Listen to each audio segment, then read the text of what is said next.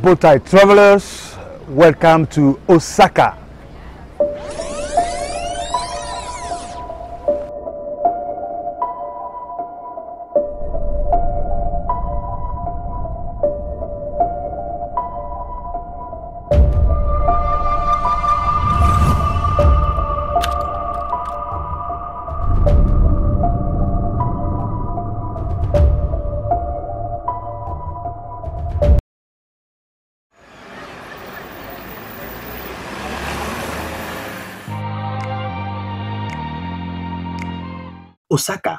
Is the third largest city in Japan after Tokyo and Yokohama. The city is unique blend of ancestral traditions and incredible technological innovations. It is the central metropolis of the Kansai region and the largest of the Osaka, Kobe, Kyoto trio. What makes Osaka an attractive tourist attraction is that you can get all the excitement and charm of the country with less crowds and the feeling of being lost that accompany visit to Tokyo.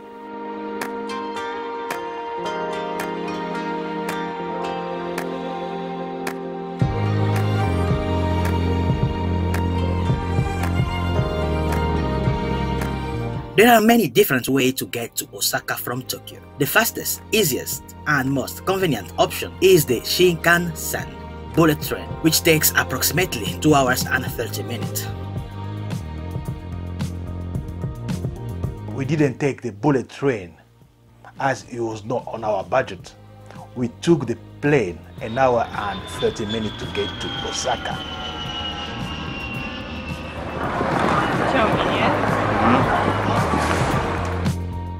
Osaka is known as the nation's kitchen and it's well known for delicious food such as takoyaki and okonomiyaki. The proximity of Osaka to Kyoto is another major deciding factor for tourists to visit Osaka. Kyoto, the traditional Japanese city and farmer capital of the country, is only one hour train ride away from Osaka. We spent three days of sightseeing in the city. In those three days, we have seen, amongst others, Osaka Castle, Namba Parks, Shinsaibashi, Dotonbori, Shitennoji Temple, Sumiyoshi Taisha, Osaka Aquarium Kaiyukan, Tempozan Ferris wheel, Osaka National Museum of Art, Osaka Science Museum, Floating Garden Observatory. We hope this will inspire you for your next sightseeing adventure to Osaka.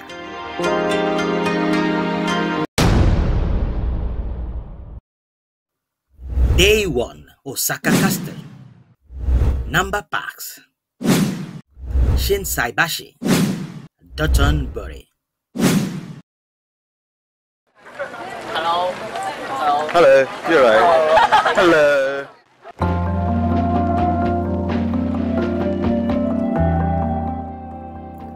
Our sightseeing journey through Osaka started from the iconic Osaka Castle. This castle is one of the most visually spectacular creations in the country, with a history that dates back almost 450 years. This is the famous 16th century Osaka Castle. It's one of the most popular Japanese landmarks.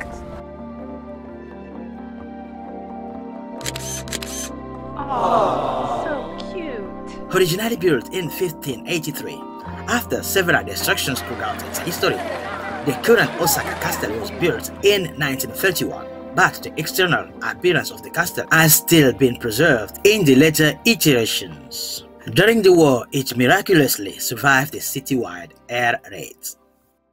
Photographers love to take pictures of the castle, especially in the cherry blossom season.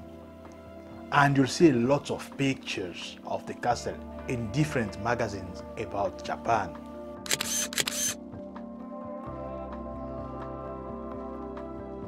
The entire Osaka Castle Park covers about 2 square kilometers with lots of green space, sport facilities, multi-purpose arena and a shrine dedicated to Toyotomi Hideyoshi. The park is one of Osaka's most popular Hanami spots during the cherry blossom season, which usually takes place in early April.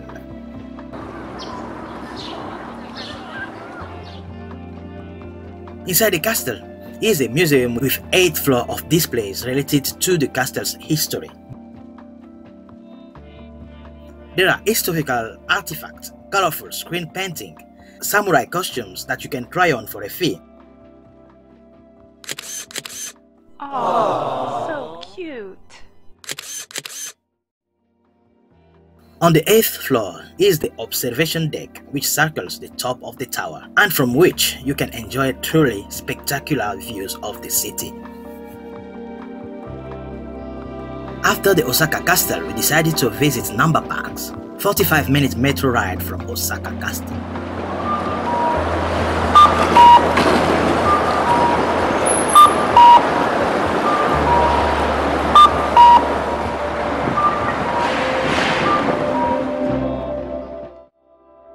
Namba Parks is a massive shopping complex in the Minami area of Osaka with a unique architectural structure incorporating plants, trees, and flowers into its physical space.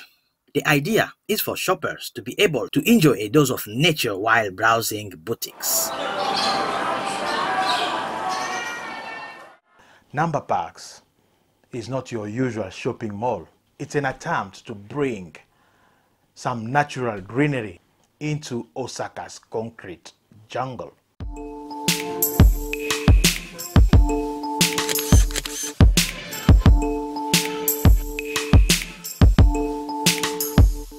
The building is composed of a series of uh, rising terraces and rooftop gardens on each level.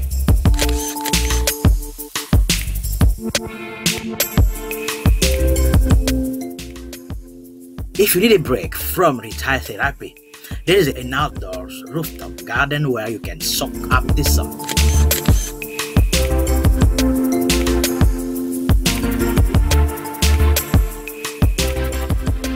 After Namba Parks, we walked 15 minutes to Shinsaibashi.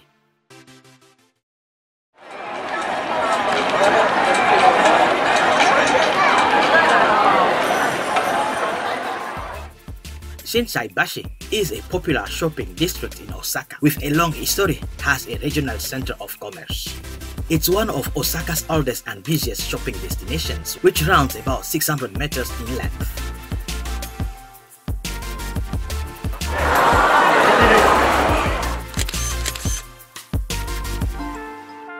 Shinsaibashi's collection of brand name shops, chain stores, independent boutiques, and variety of restaurants makes it popular with nearly every kind of shopper.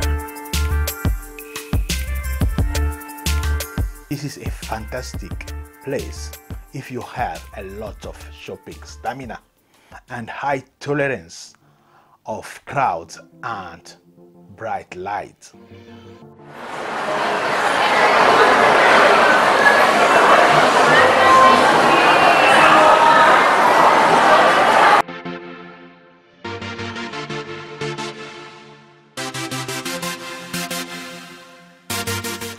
A few steps away from Shinsaibashi, there is the one and only, the fantabulous Don Don Bori, the heart of the city.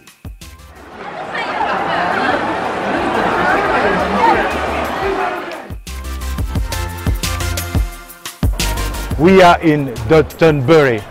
Dotonbori is one of the busiest, brightest, and bustling tourist attractions. We are actually in the heart of Osaka. The Glicoman, the enormous runner, towers over Ebisubashi bridge, is a famous Osaka landmark.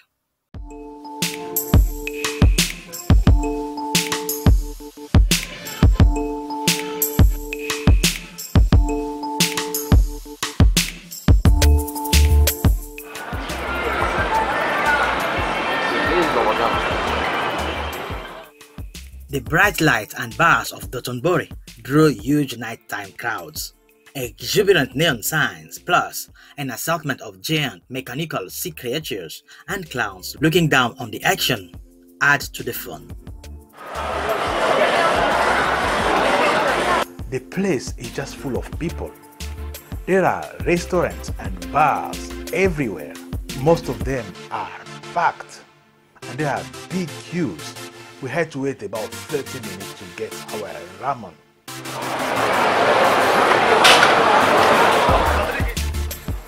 The alleys and streets surrounding Dotonbori are packed with izakaya, restaurants and bars. The crab restaurants here are famous. Osaka's obsession with food is often summed up with the expression kuidaore, which is often interpreted to mean eat till you drop, eat till you bankrupt. Dotonbori is said to be the best place in Osaka to experience this kuidaore style extreme love of food.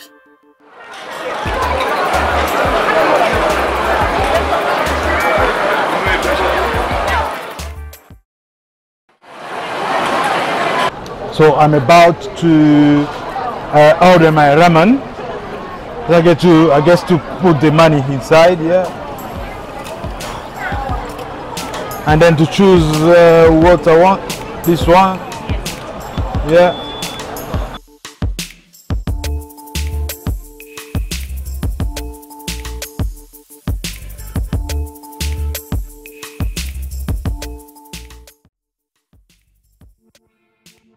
So now I'm just putting some stuff here. I don't know what it is. It looks like onions or so. Uh, I really don't know, but people are putting that inside the ramen. So um, I'm just following. I think it's hot.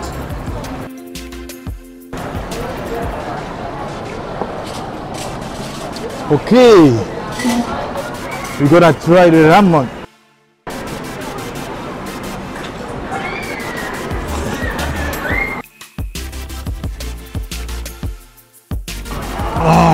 you need to make those noise like when you eat ramen you need to make noise with your mouth to show that you are enjoying what you are eating.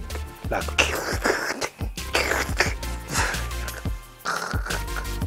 crazy. Ah, it's hot. I think i think i need a spoon. Ram is a noodle soup dish that was originally imported from China and has become one of the most popular dishes in Japan. It's hot, it's spicy and uh, and hot. Wow, I, I like it. It's really good. Great. This will be great for for hangover. The ramen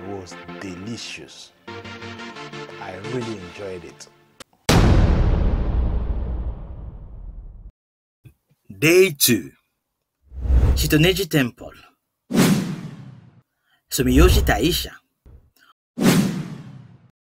Osaka Aquarium Kaiyukan Temples and Ferris Wheel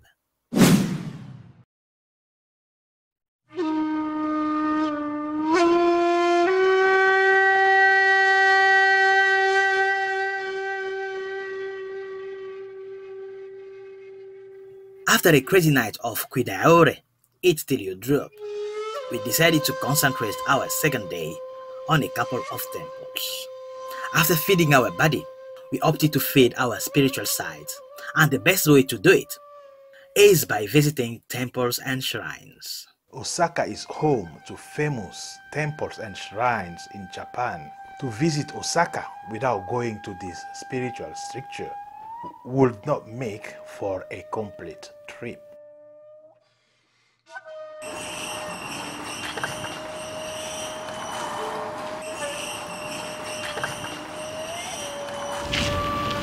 The first temple we visited is Shitennoji Temple. It is Japan's oldest official temple. It was founded in 593 by the Prince Shotoku Taishi, a major figure in Japanese history who played a leading role in introducing Buddhism to Japan.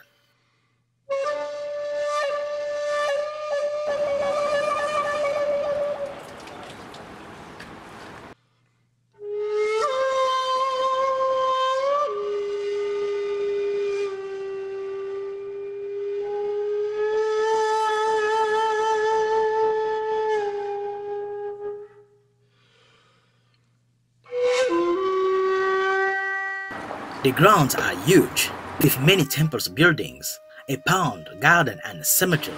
It's normally peaceful and sparsely populated, but the atmosphere becomes lively during festivals and events.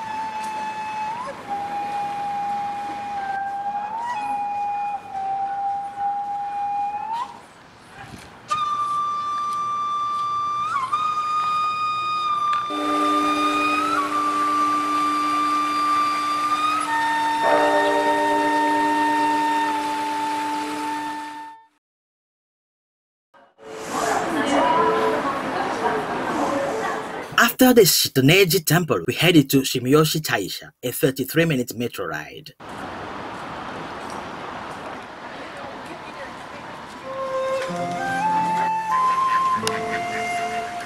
Shintoism and Buddhism are the primary religions practiced in Japan today. About 70% of the population practices Shintoism and 69% Buddhism.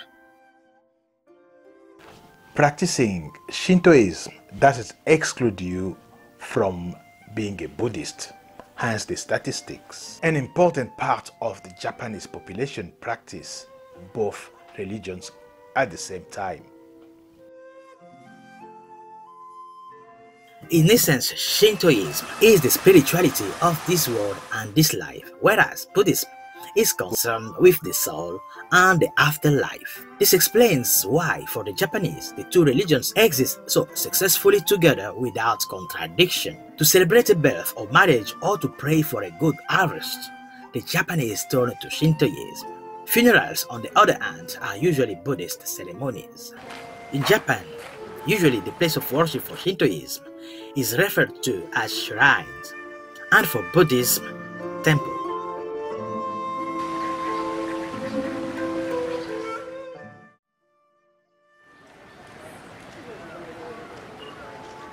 Sumiyoshi Taisha is the most famous and important shrine in Osaka. For hundreds of years, Osakans have believed that Sumiyoshi Taisha has protected the city for numerous hardships and delivered many blessings to those who have visited it. Each year around New Year's, approximately 2,500,000 people flock to the shrine for Hatsumode, a very important practice in Shinto where an individual seeks to purify themselves going into the new year. One of Sumiyoshi Taisha's most striking features is the large arched bridge called Shoribashi. Shoribashi symbolizes the connection between the realm of mortals and the realm of gods. As such, crossing Shoribashi is an important act of purification for visitors to the shrine.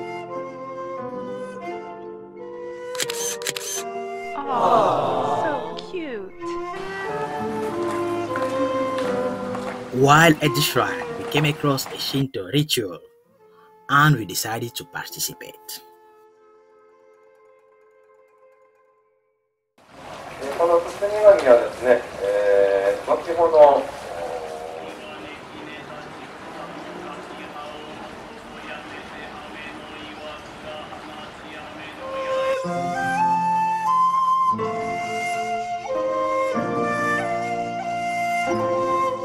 We didn't understand what it was. However, we enjoyed participating.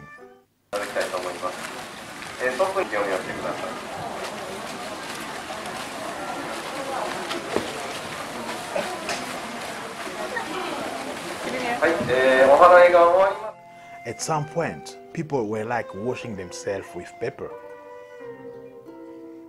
It was fun and spiritual. I think it was some sort of purification or something.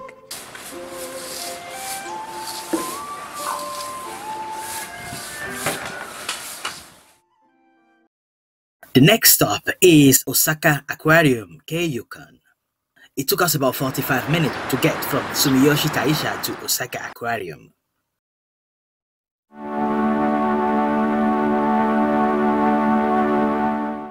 Osaka Aquarium Kaiyukan is located in Tempozan Harbor Village, which is close by Osaka Bay.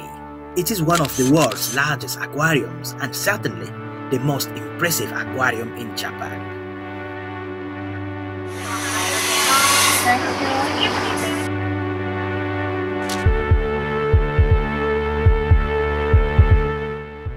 Because the aquarium was so massive, we had to spend a lot of time there, gallivanting through huge tanks of water containing different species of fishes and other animals.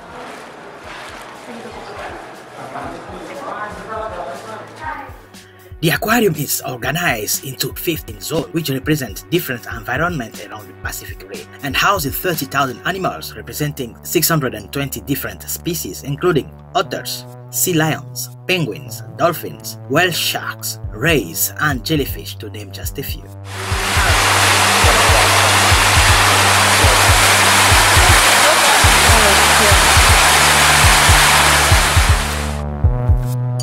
The 15 zones are arranged in a descending spiral that starts with the Japan forest area and descends down to the Pacific Ocean level where you can view a huge 9 meter deep and 34 meter long fish tank which is home to a variety of species including the world's largest fish, the whale shark, with spectacular effect.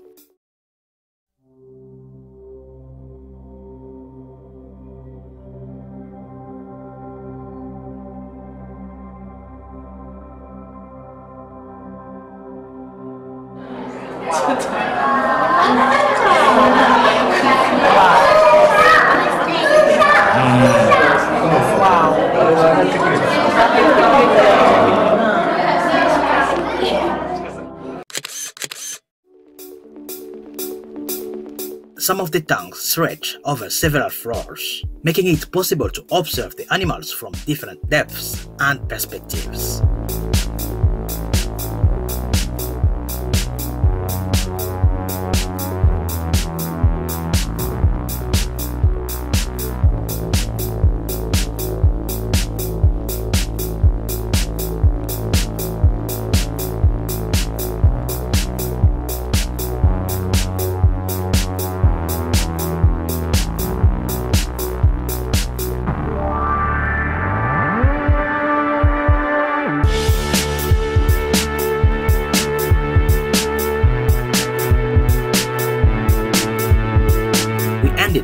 Second day in Osaka at the Tempozan Ferris wheel, located near the Osaka Aquarium. The Tempozan Ferris wheel soars 112.5 meters into the air and has a diameter of 100 meters, making it one of the world's largest Ferris wheels. It was the tallest in the world from 1997 to 1999. That was only about 20 years ago.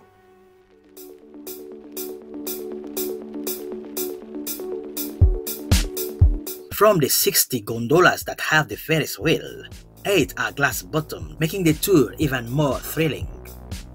We didn't go with the glass bottom gondolas. I didn't feel good about that. However, this was quite popular. There was huge queues waiting to go into the glass bottomed gondolas.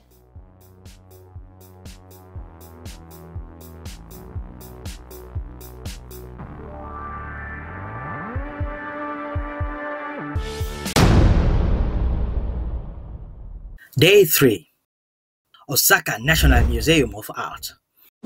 Osaka Science Museum. Floating Garden Observatory. Started our life sizing day with a visit to museums. On our trips, we usually don't visit museums, but we have a bit of time in our hands.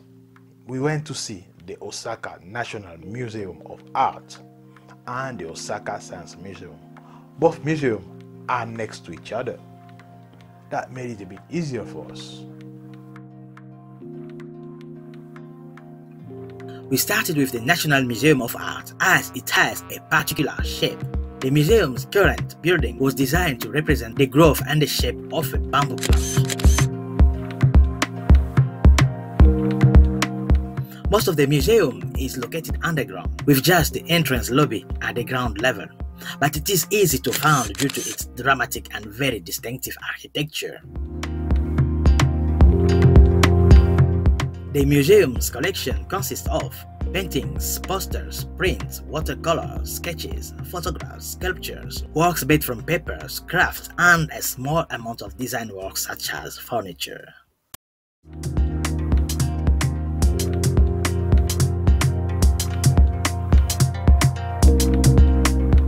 Saka Science Museum is an interactive educational facility largely targeted at children.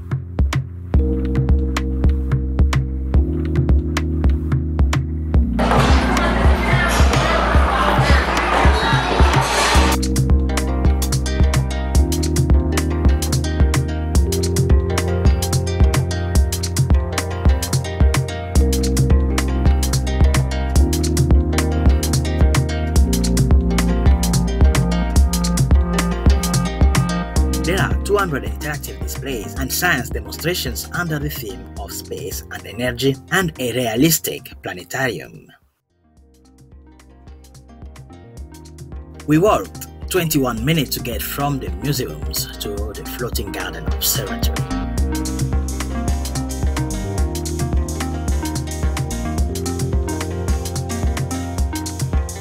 Located between the two towers which make up Osaka's Umeda Sky Building, the Floating Garden Observatory, also known as the Sky Garden, provides visitors with one of the best views of the city.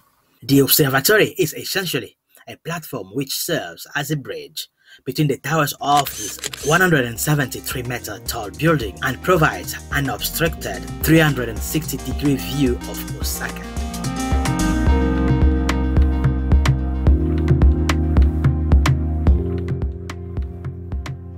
From the 35th floor, you'll transfer to a see-through escalator tube that will take you to the entrance of the garden on the 39th floor.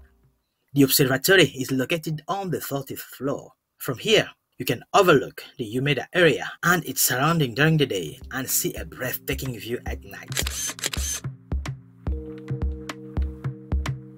There is an open air rooftop known as the Skywalk, highly unusual for a high rise buildings. It is an observatory deck where you can actually walk outside. You can feel the breeze as you enjoy an unobstructed view of Osaka. The fence of vows on the roof area where visitors can fasten heart locks onto the fence as a romantic or friendly gesture.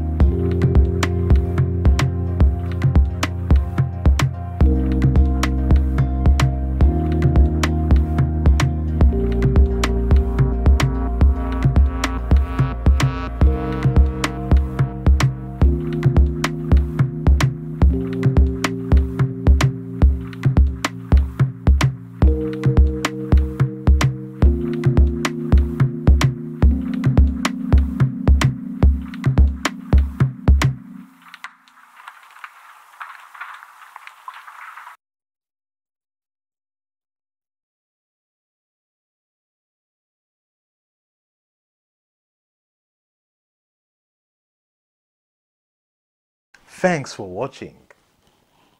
I hope you enjoyed it. Please subscribe to our channel for more. Next time, we are taking you to Venice. Till then, keep traveling. See you.